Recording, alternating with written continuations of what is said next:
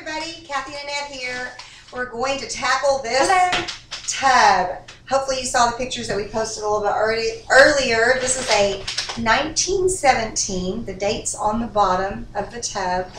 Of course you can see we've got it turned upside down. But this is a 1970 17. 17. Sorry. Clawfoot tub. Clawfoot porcelain tub, and it's a four foot tub, so it's going to be a lot of fun to take to Albuquerque, New Mexico with yes. us for Vintage Market Days. So um, we're going to start by showing you guys how to do this. So the first step that we're going to take is we're, we are actually going to go ahead and seal all of this. Well, we're going to start scraping off the rust. Yes. So we're going to take off the rust as much as we can, and then we're going to seal it with liquid wax just to give it, just to lock in that rust even outside of the new surface that we're going to take the next step. Anything loose you've got on the outside, you want to try to get that off? Yeah, we're just working on getting all this corrosion off that it has and giving it a nice smooth surface to paint on. Do you know what that flaky stuff coming off on your paint? Um, so you could use a sander on this if you wanted to, which would be really nice. I've got a wet towel that I'm going to go back over this as we get things off. So you could use a sander or these little jobbers from your kitchen. Grab those at Walmart or someplace. And we don't have to get it all off, we just have to get off the loose particles. So you wouldn't have to strip it all the way down to nothing. Just get off all these little loose particles. You can probably see it coming off here. And you want to do the same thing to the feet. Or like if you're painting your patio furniture, you know, to your chairs, you know, anything that's loose, you just want to knock it off.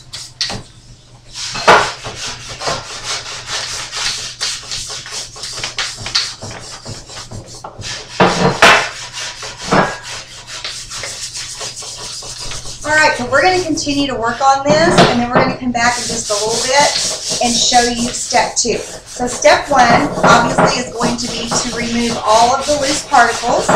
Take a um, brush, brush all those away. A wet bath would be perfect right now to go over and get off all this um, loose particles that are falling down here.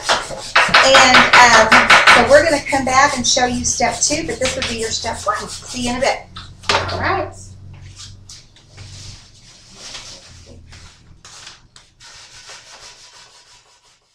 Ready? Mm-hmm. So. Okay, and we're back.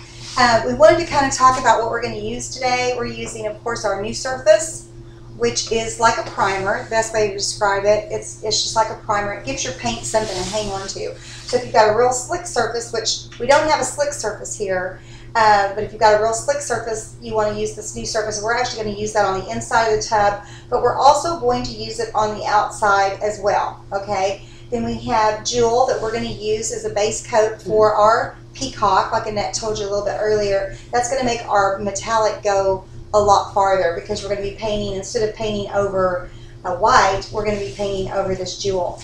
And then we've chosen bronze for the outside of the tub, and I just wanted to talk about why we chose that.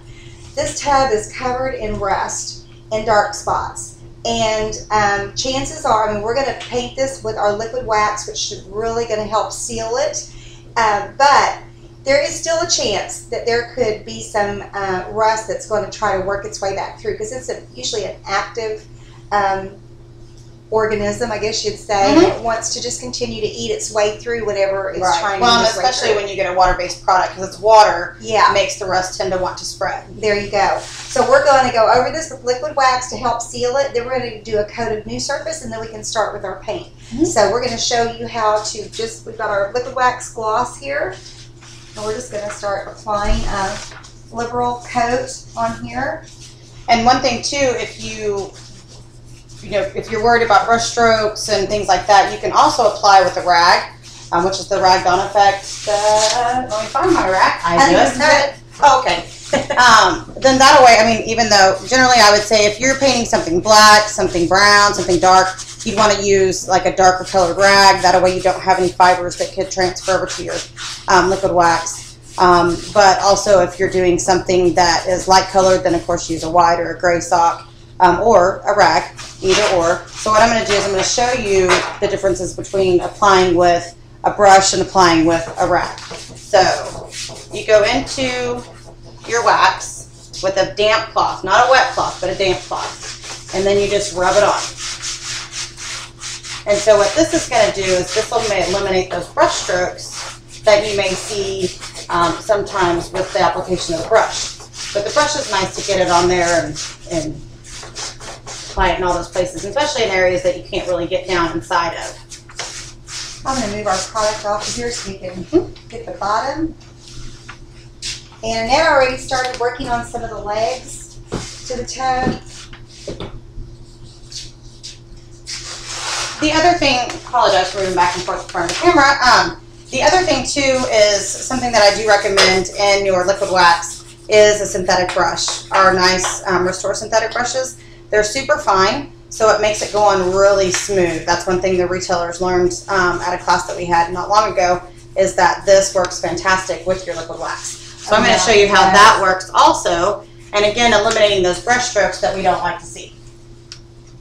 And I'll just show you up here. See how nice and smooth that's going on?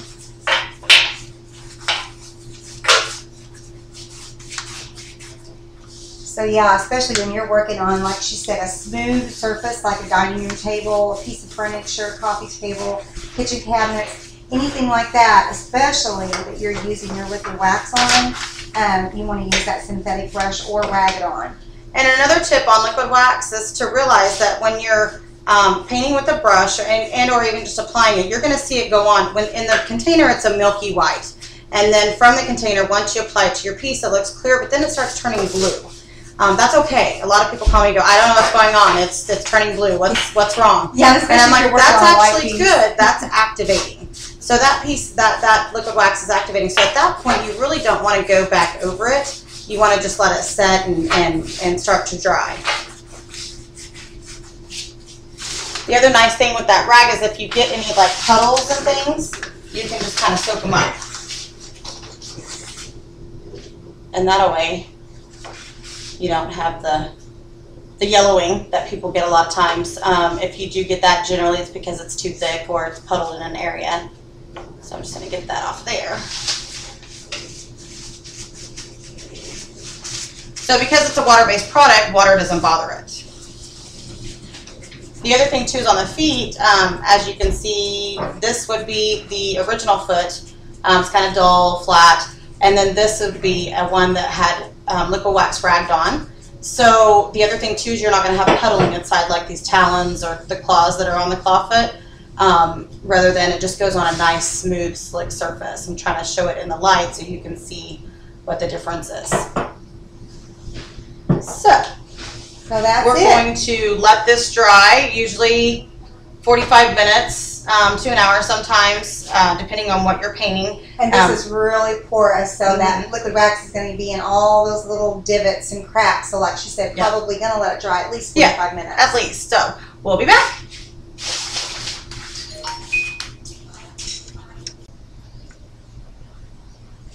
All right, we're we're back. Okay, this has taken a lot longer to dry than we kind of anticipated. We thought about 45 minutes. Really took, and I'm sure it's because of all, like we talked about, all the little puddling areas and stuff. It really took about an hour at least for it to dry completely. So now we're back, and we've decided that since we have all of, we've got this dark color, and the easiest way for us to paint this tub and to get a nice look, we've chosen bronze in the end. We were going to do spun gold, and then we just looked at it and decided that we would be better off with bronze. And we think that bronze is going to be really pretty with the peacock, especially for more like Southwest type colors. So that's what we're going to do. And we're going to use, I'm going to use the Signature Series brush, and Annette's going to use the synthetic. Mhm. And we're just going to start sh- showing you how to apply this. We've, of course, in our earlier, we scrubbed it all down, and then we put our liquid wax on it. Liquid wax is dry, and now we're ready to paint. Yep. We could do a coat of new surface if we wanted to, but we just don't feel like it's necessary because this is so porous. We're pretty confident that this, um, our bronze plaster paint is going to stick really well. So, right? Yep. Okay, so here we go. bronze paint there for me and some for Annette. I'm gonna load my Signature Series brush app. And the same with the signature brush, or the, um, sorry, the synthetic brush. So you'll see that you will load it up and then apply. All right.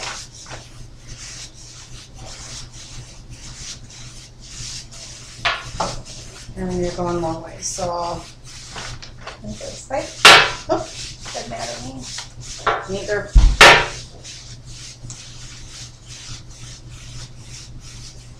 And once we get this all painted, we're gonna uh, come back and seal it with a uh, coat of our liquid wax uh, gloss.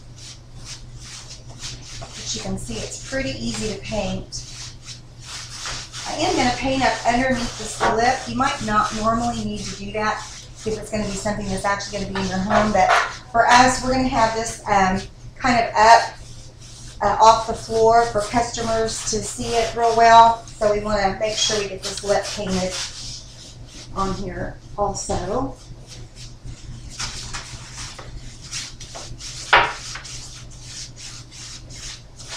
If you haven't used a Signature Series brush or the synthetic brushes, you should give them a try. You're going to love them. I love the amount of paint and coverage that I can get with the Signature Series, and Annette loves the synthetic because you get such a smooth, smooth finish with those.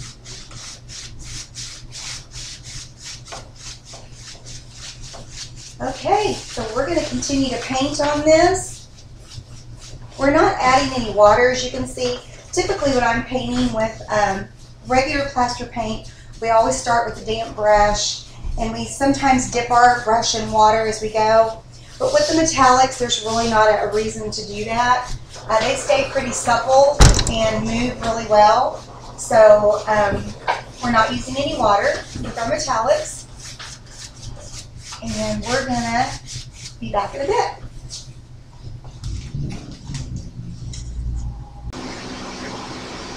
Okay, and we're back. As you can see, we've got our coat of uh, bronze, which just looks like copper tab. We love it. Gorgeous.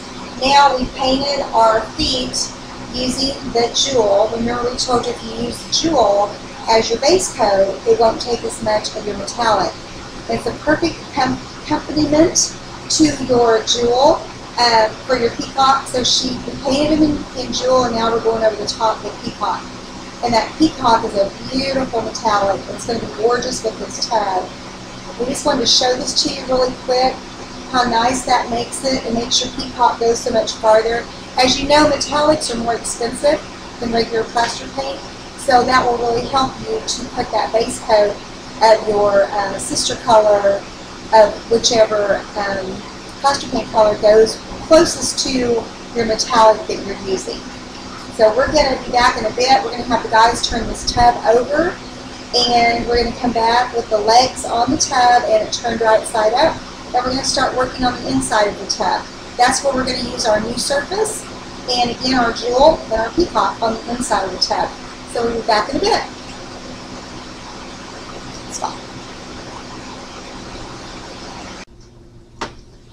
Okay, and we're back. And we're ready to do the inside of the tub now.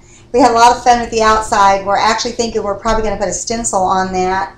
I can't wait to show it to you guys how it turned out. Um, okay, so this we're definitely going to need new surface for because this tub is slick and cold. Um, anytime you've got something that's really slick and cold, the paint wants to beat up on it. It's not going to want to hang on. So that's when your new surface is going to come in handy. We didn't really need it for the outside of the tub because it was real porous and rough. So, but for this inside, we definitely do. And all we're going to do is just start by applying a coat. It doesn't have to be a thick coat. What we want to do is just give the paint something to hang on to.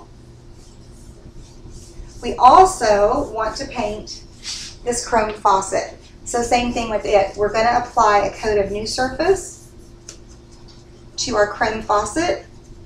And you just literally just going to paint it on there. You don't have to be careful. Just want to paint it on. Just don't get too much. You don't want it globbed on. You don't want it running all over the place. Again, this just creates, it's a, it's a really wonderful product.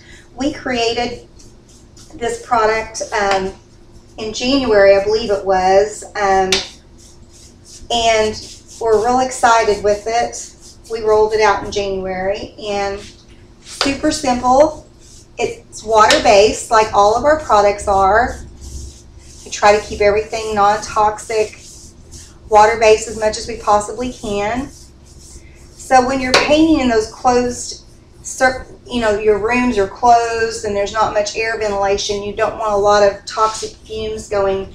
New Surface does have a little bit of an odor, but it's not too bad. But if you're real sensitive to odors, I would say, uh, again, keep a fan running, have a window open if you can.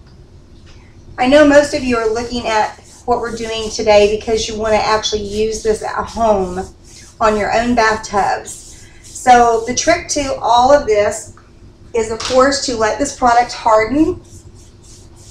You're going to want it to harden for minimum three days but really a week is best. Just don't gouge it or scratch it for the first week. Maximum hardening is usually about 30 days out. So for the first month, you really want to be careful that you don't get scratches on it. And after that, it should last you a very long time. You don't want to use um, harsh cleaners. Once you've painted your tub, you want to always use something maybe like scrubbing bubbles, any kind of a non-abrasive, natural cleaner that doesn't have a lot of ammonias or bleaches in it. So it is still a painted surface. You do still have to take care of it like a painted surface. So those are some tips. Uh, probably, I'm going to say in about a year, uh, and I'm saying that because I've painted my countertops at home in my bathroom in about a year, if this starts dulling down and you notice that your finish is starting to get thin or starting to come off, it's just as simple as going back and applying another couple of coats of liquid wax to reseal your tub.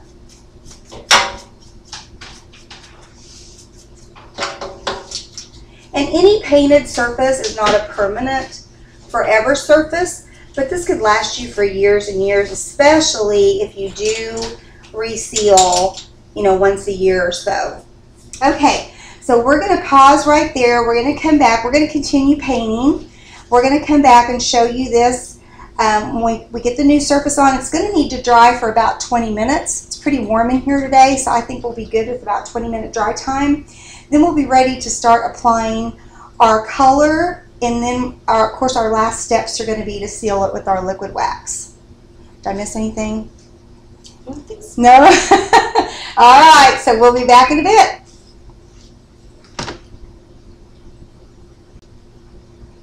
Okay, and we're back again. We let our new surface dry. We applied a light coat of new surface to the faucet and the tub. Now we're applying a coat of Jewel and we're going to use the jewel as a base coat for our peacock. And then the peacock, as we said earlier, is a metallic. Metallics are more expensive. White is also a very hard color to cover up. White always wants to peek back out at you. Just about the time you think you've got white covered up, you'll see a line or two where it's peeking back out just because it's so bright and just kind of takes over.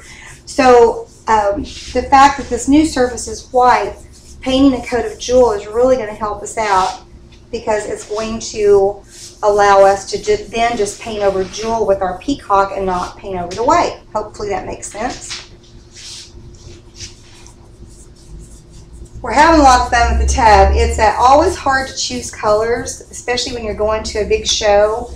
We're trying to keep in mind with this tub that we're actually going to Albuquerque, New Mexico, and we love their bright colors down there, their Navajo uh, prints and looks, and um, th their decor is gorgeous. So we kind of want to appeal to them, and um, we're looking at some different color schemes for this tub.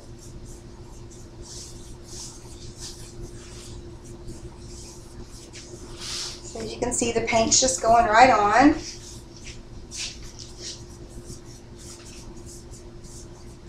This is our signature color, uh, Jewel.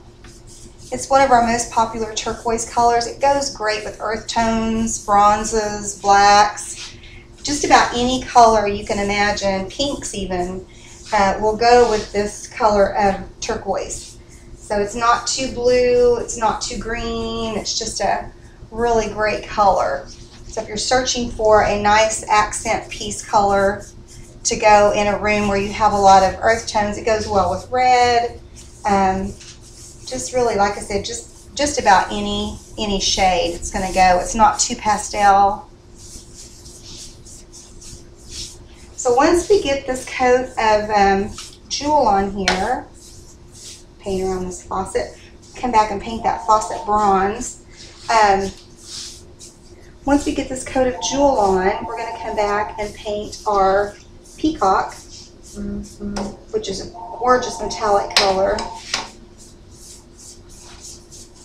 And then, of course, after that, we're going to seal it with two coats of liquid wax and let it harden and cure for at least a week, you know, three days before you even really touch it. Um, and then let it harden for up to a week. 30 days, it will be at its hardest point. So the longer you can let it sit and harden and cure out, the better off you're going to be.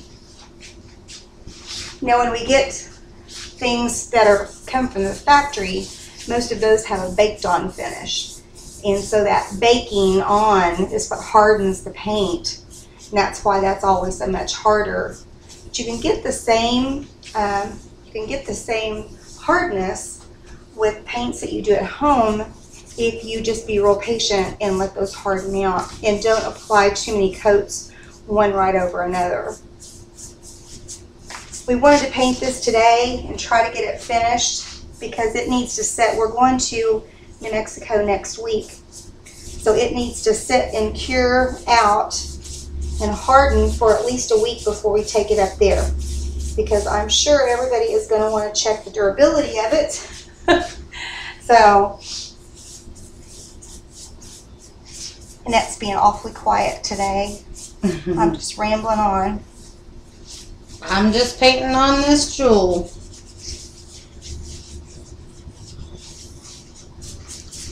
Okay, so we're probably going to leave you for a little bit. We're going to finish this up and we'll come back when we start applying our peacock so you can see how pretty it is. And then we'll also let you see some ideas that we have for the outside of the tub that's turning out pretty awesome. So usually what we think we're going to paint something, by the time we get through is the farthest thing from what we ended up painting it. But that's okay. That's what creating is all about and having a good time and just creating away. I'm look. I'm painting over here in that space instead of my own down here. She'll have to come paint my space. All right, so we'll be back in a bit.